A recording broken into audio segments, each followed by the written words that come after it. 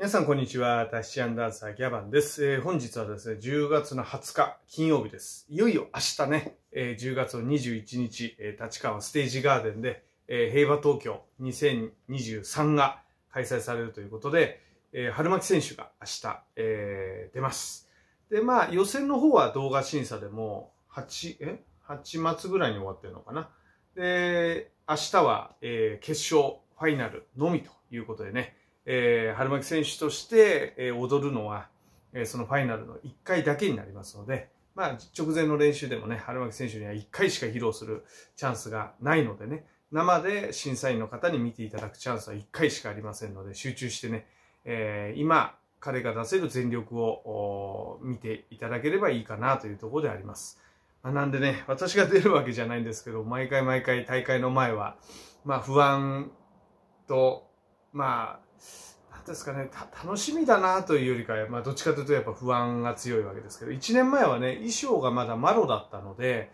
あの、マロがね、ポロって取れちゃうっていう心配はなかったですけど、やっぱパレオの場合はね、どんなにしっかり結んでも、あの、舞台裏までは僕ついていけないので、まあ、言うてパレを結んでから30分ぐらいはそのままの状態でね、で、動いて直前まで多分練習して、で、本番という形になりますんで、まあ万が一ポロリがね、えあったら本当に嫌だなということでね、本当それが心配です。だから今年から花巻選手の衣装がね、パレオ巻きになりましたんで、まあそこがね、ずっと、タウラーもそうですし、今回のあの、平和東京もそうですし、ずっと心配です。まあ僕がね、出てて僕が自分で結んだんだったらいいんですけれども、ね、えー、春巻選手が踊るで衣装というか、そのパレオ結びに関しては僕がやるってことなので、すごくね、えー心配なところであります。まあ、衣装に関しての心配がほとんどですね。まあ、春巻選手は本番になればしっかり踊ってくれるっていうのは分かってますんで大丈夫だとは思うんですけども、ただまあ去年に比べると、えー今年はですね、まあ、パターン作りが、うんまだちょっと不十分な状態だったかなと、もうちょっと練習したかったなっていうのが個人的には、えー思うところであります。もっとね、あの、必勝パターンというか、えー過去のね、受賞者の方の動画も私も何本も見ましたけども、本当に人によってはね、あの、2年続けて、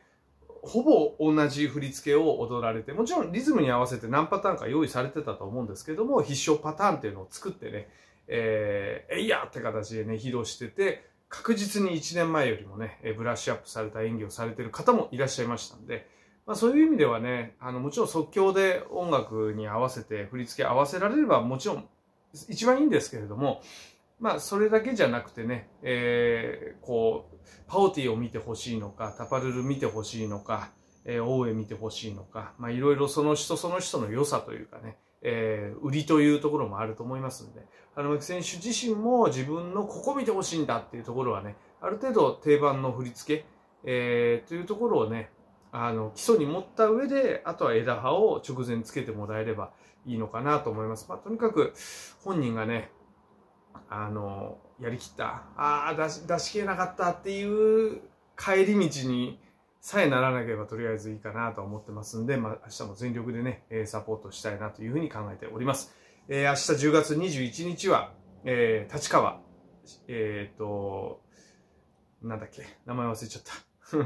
シアターガーデンだったっけ？ガーデンシアターだったかな。えーで、また去年に引き続きですね、同じ場所ですけれども、平和東京開催されますので、えー明日はもう本当に朝からね、えー長丁場です。丸一日の戦いになりますけれども、しっかりサポートしてね、彼の出番としては多分午前中で終わると思いますので、午前中の1回の本番でね、いかにこう出し切れるかっていうところ、ウォーミングアップから、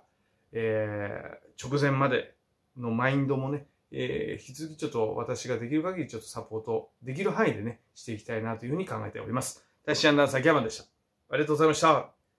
あるる